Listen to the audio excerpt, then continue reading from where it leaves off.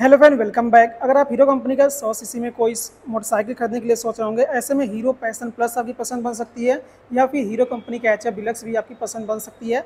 ऐसे में दोनों में कितना डिफरेंस है, दोनों के प्राइस में कितना डिफरेंस है फीचर्स कौन कौन से मिल जाते हैं माइलेज कितना देती है, सारी जानकारी आपको इस वीडियो में आपको देने वाले हैं। तो अगर आप हीरो कंपनी का एच डिलक्स और हीरो कंपनी का जो पैसन प्लस आता है, इसके बीच में कन्फ्यूज़ है, कौन सा आपको लेना चाहिए, कौन सा आपके बजट रेंज के अंदर आ जाएगी। तो इस वीडियो देखने के बाद सारी कन्फ्यूज़न आपकी दूर हो जाएगी। तो इस वीडियो में डिटेल में बात करते हैं। लेकिन अगर आप हीरो कंपनी का कोई भी बाइक या फिर स्कूटर खरीदने के लिए सोच रहे होंगे, अगर आप देवरिया से बिलोंग करते हैं तो आप लक्ष्मी मोटर्स पर संपर्क कर सकते हैं। शोरूम का जो एड्रेस है, आपकी स्क्रीन पर दिख रहा होगा, जो कि देवरिया सलेमपुर रोड पर है। सावित्री नर्सिंग होम के ठीक सामने वहाँ से संपर्क कर सकते हैं। कॉन्टैक्ट डिटेल भी आपको डिस्क्रिप्शन बॉक्स में मिल जाएगी। आइए इस वीडियो में बात करते हैं, दोनों में कितना आपको डिफरेंस मिल जाता है। तो सबसे पहले बेसिक पॉइंट से स्टार्ट करेंगे, इनकी डिज़ाइनिंग और कलर ऑप्शन से। तो यहाँ पे आप देखेंगे तो एच डिलक्स में आपको काफ़ी सारे कलर ऑप्शन मिल जाते हैं। इसमें आपको ऑल ब्लैक का भी ऑप्शन मिल जाता है। लेकिन वही अगर आप पैसन प्लस लेते हैं तो इसमें आपको केवल चार का ऑप्शन मिलता है। तो ये आपको कलर में डिफरेंस देखने को मिल जाएगा। बाकी जो लुक और डिज़ाइनिंग है, वो यहाँ पे आप देख सकते हैं। जो एच एफ़ डिलक्स है, इसका फ्रंट से हेड देख सकते हैं। हेड में आपको जो काउल है, थोड़ा सा छोटे साइज़ का मिलेगा। हीरो का यहाँ पे थ्री में लोगो दिया गया है। हेलोजन हेडलेम सेटअप मिल जाता है। बाकी यहाँ पे ऐसे कुछ क्रोम के बेजल्स मिल जाते हैं। और इंडिकेटर ऐड देख सकते हैं, कुछ बेसिक सा मिल जाता है। फ्लेक्सिबल नहीं है। फ्रंट का फेंडर आपको ग्लॉसी फिनिश के साथ मिल जाएगा। बाकी इस कलर में देखेंगे तो सिल्वर कलर की आपको एलेविल्स मिल जाती है। वहीं दूसरी साइड पैसन प्लस देखते हैं तो इसका आप हेड की डिज़ाइनिंग दे सकते हैं। हेड के ऊपर इसमें भी आपको थ्री में लोगो मिल जाता है। लेकिन जो इसका हेड का काउल है, थोड़ा सा बड़ा दिया गया है, जिसकी वजह से जो इसका हेडलेम है, थोड़ा सा बड़ा लगता है। और इसमें भी आपको हेलोजन हेडलेम सेटअप देखने को मिलेगा, जो कि आप यहाँ पे देख सकते हैं। लेकिन इसका जो इंडिकेटर है, वो देख सकते हैं। थोड़ा सा स्पोर्टियर सेगमेंट में आपको देखने को मिल जाती है, जो कि काफ़ी प्रीमियम भी लगती है। हालाँकि फ्लेक्सिबल ये भी नहीं है, लेकिन इसका जो फ्रंट फेंडर है ग्लॉसी फिनिश के साथ मिल जाएगा। और साइड से अगर देखते हैं तो यहाँ पे आपको जो एलाविस है, वो आपको ब्लैक कलर के साथ मिल जाती है। यहाँ पर रिफ्लेक्टर्स दिए गए हैं और इस साइड भी इसमें आपको रिफ्लेक्टर्स यहाँ पे देखने को मिल जाता है, जो कि इसके भी दूसरे साइड यहाँ पे रिफ्लेक्टर्स दिया गया है। तो ओवरऑल जो फ्रंट का लुक है, वो यहाँ पे आप एक बार देख सकते हैं। थोड़े से छोटे साइज़ में हेडलेम यहाँ मिलता है। थोड़े से बड़े साइज़ में हेडलेम यहाँ पे दी गई है तो फ्रंट का जो हेड है, यहाँ पे आपको डिफरेंस मिल जाएगा। बाकी यहाँ पे साइड लुक की अगर बात करें तो साइड से लुक दे सकते हैं। यहाँ पे आपको साइड में ऐसी कुछ ग्राफिक्स मिल जाती है। पैसन प्लस का स्टिकर लगा हुआ है। पीछे की साइड भी आपको ऐसी ग्राफिक्स देखने को मिल जाती है। जिसकी सीट की डिज़ाइनिंग है, वो देख सकते हैं। पीछे इसमें ग्रेबरेल भी दिया गया है। बाकी नीचे की साइड इंजन देख सकते हैं। ब्लैक दिया गया है। यहाँ पे लेग गार्ड आपको मिल जाएगा ब्लैक कलर के साथ। और यहाँ पे जो इसका ब्रेक पेडल्स है, वो देख सकते हैं। एग्जॉस्ट के ऊपर आपको क्रोम कवर भी देखने को मिल जाती है। वहीं दूसरी साइड अगर आप एच एफ़ डिलेक्स लेते हैं तो इसका जो टैंक है, थोड़ा सा आपको छोटे साइज़ की मिलती है। बाकी टैंक के ऊपर आपको इसमें स्टिकर मिल जाता है और यहाँ पे ग्राफिक्स इसकी देख सकते हैं। और नीचे जो इंजन दिया गया है, वो आपको यहाँ पे सिल्वर और ब्लैक कॉम्बिनेशन के साथ देखने को मिल जाएगा। बाकी जो इसका ब्रेक पेडल्स है सेम मिल जाता है। क्रोम के एग्जॉस्ट सिस्टम में भी दिए गए हैं।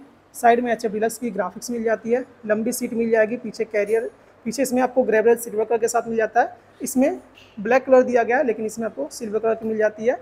बाकी जो एलियम डिज़ाइनिंग है, वो दे सकती है, इसमें थोड़ा सा अलग मिल जाता है। और एच डिलक्स में थोड़ा सा बेसिक सा दिया गया है। तो ओवरऑल जो लुक और डिज़ाइनिंग है, वो दे सकते हैं। अगर आपको थोड़े से बड़े साइज़ की चाहिए तो पैसन प्लस में जा सकते हैं। थोड़े से छोटे साइज़ में आपको एच डिलक्स मिल जाती है। तो डिज़ाइनिंग में आपको यहाँ पे डिफरेंस देखने को मिल जाएगा इन दोनों में। तो दोनों की जो डिज़ाइनिंग है, वो यहाँ पे आप देख सकते हैं। बाकी इसके इंजन की अगर बात करें तो इंजन में दोनों में सिमिलर सेम इंजन का इस्तेमाल किया गया है। अगर आप पैसन प्लस लेते हैं या फिर एच एफ़ डिलक्स लेते हैं, दोनों में 97.2 सीसी का single cylinder four stroke fuel injection engine दिया गया है, जो कि 8.02 पीएस का पावर और 8.05 एनएम का टॉजिंग करता है। यहाँ पे आपको इंजन में कोई भी डिफरेंस देखने को नहीं मिलेगा। फोर स्पीड तक गियर बॉक्स यहाँ पे दिया गया है और फोर स्पीड तक गियर बॉक्स यहाँ पे भी मिल जाता है।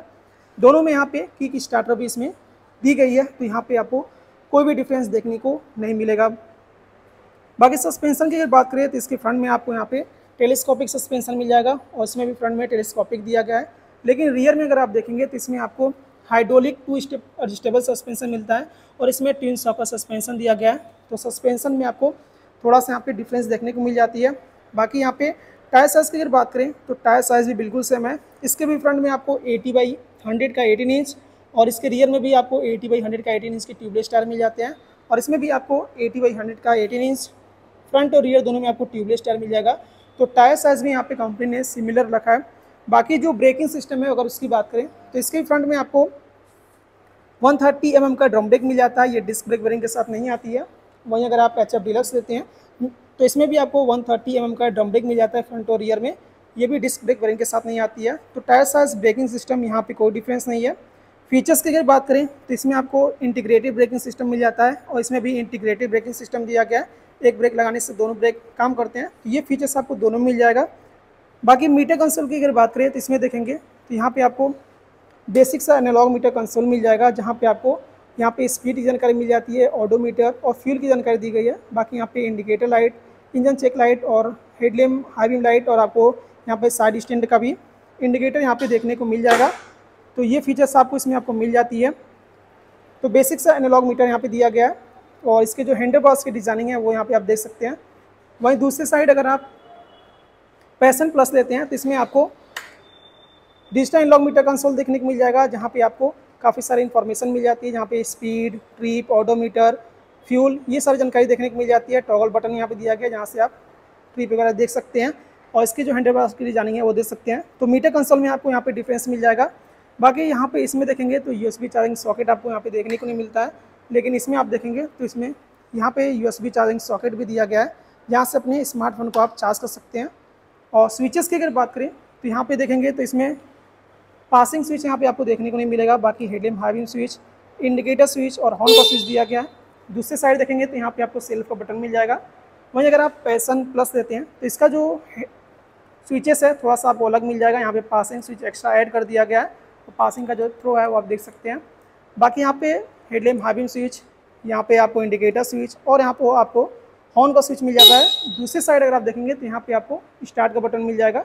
तो जो इसके स्विचेस हैं, वहाँ पर भी थोड़ा सा यहाँ पे डिफरेंस रखा गया है। बाकी हद तक जो फीचर्स हैं, ये दोनों इनमें सिमिलर लगभग दी गई है। बाकी यहाँ पे सिंगल पीस की सीट इसमें भी मिल जाती है, लंबी सी, थोड़ी सी पतली दी गई है और यहाँ पे आपको थोड़े से चौड़े सीट मिल जाती है। और इसकी भी सीट का लेंथ आप ये देख सकते हैं। तो फीचर्स वाइज यही आपको डिफरेंस मिल जाता है। बाकी अगर माइलेज की बात करें तो माइलेज भी थोड़ा बहुत डिफरेंस हो सकता है क्योंकि यहाँ पे एच एफ़ में थोड़ा सा ज़्यादा माइलेज मिल जाती है। 70 प्लस के एम तक आराम से माइलेज मिल जाएगी। 75 के एम तक भी एच एफ़ मिल जाती है और इसमें भी आपको 70 के एम तक माइलेज मिल जाएगी। बाकी डिपेंड करता है कि आप कैसे रखते हैं, कैसे सर्विस करा कर रखते हैं तो माइलेज इसमें भी कम या ज़्यादा होता रहता है। बाकी इसके डायमेंशंस की अगर बात करें तो डायमेंशंस में थोड़ा बहुत यहाँ पे आपको डिफरेंस देखने को मिल जाएगा। तो यहाँ पे इसकी जो ग्राउंड क्लियर्स है, वो आपको 165 सिक्सटी mm तक देखने को मिलेगी और इसकी जो ग्राउंड क्लियर्स है 168 सिक्सटी mm है तो थोड़ी सी ग्राउंड क्लियर्स इसकी ज़्यादा है। बाकी जो सीट की हाइट है और इसकी जो सीट हाइट है 790 नाइन्टी mm है। फ्यूल टैंक कैपेसिटी इसमें आपको 9.6 लीटर के साथ मिल जाती है, लेकिन इसकी जो फ्यूल टैंक कैपेसिटी है इलेवन लीटर दी गई है। तो इसकी जो फ्यूल टैंक कैपेसिटी है, थोड़ा सा आपको ज़्यादा देखने को मिल जाएगा।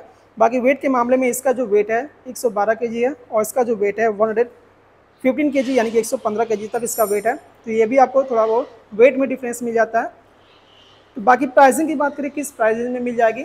तो प्राइसिंग में आपको लगभग नौ हज़ार पाँच सौ रुपये का डिफरेंस देखने को मिल जाएगा। और प्राइसिंग में इतना डिफरेंस क्यों है? मैंने आपको इस वीडियो में बता भी दिया है। तो अगर आप एच एफ़ डीलक्स लेते हैं तो इसका जो एक्सम प्राइस उत्तर प्रदेश में है sixty eight thousand nine hundred fifty यानी कि अड़सठ हज़ार नौ सौ पचास रुपये तक है, जिसकी ऑनो price eighty four thousand five hundred यानी कि चौरासी हज़ार पाँच सौ रुपये तक चली जाती है।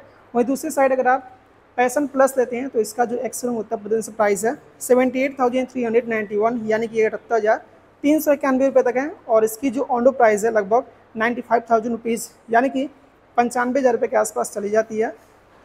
तो इन दोनों के प्राइस में आपको इतना डिफरेंस मिल जाता है। बाकी अगर आप एग्जैक्ट ऑनडो प्राइस जाना चाहते हैं तो अपने नज़दीकी हीरो शोरूम पर संपर्क कर सकते हैं, और अगर आप देवरिया से बिलोंग करते होंगे तो लक्ष्मी मोटर्स पे आके आप एग्जैक्ट ऑनडो प्राइस पता कर सकते हैं, क्योंकि जो ऑनडो प्राइस है, थोड़ा सा कम या ज़्यादा होता रहता है। एक्सेसरीज वगैरह कुछ लगवाते हैं तो उसके पैसे वहाँ पे ऐड हो जाते हैं।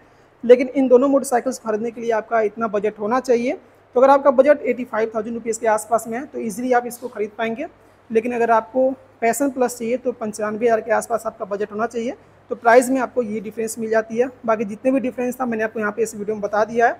फीचर्स वाइज देखा जाए तो थोड़ा सा ज़्यादा इसमें फीचर्स मिल जाता है, क्योंकि डिजिटल लॉग मीटर कंसोल मिल जाता है। और इसमें थोड़े से बेसिक से फीचर्स मिलते हैं। बाकी पहले इसमें ट्यूबलेस टायर नहीं आती थी, लेकिन अब इसमें ट्यूबलेस टायर भी आने लगी है। तो वो जो कमी था, वो इसमें आपको अब देखने को मिल जाता है। जितने भी जानकारी थी, मैंने आपको यहाँ पे इस वीडियो में दे दिया फिर भी आपके मन में कोई क्वेश्चन होगा तो कमेंट बॉक्स में पूछ सकते हैं। और ऐसे इन्फॉर्मेटिव वीडियो के लिए चैनल को जो सब्सक्राइब कर लीजिएगा। Thank you friends thanks for watching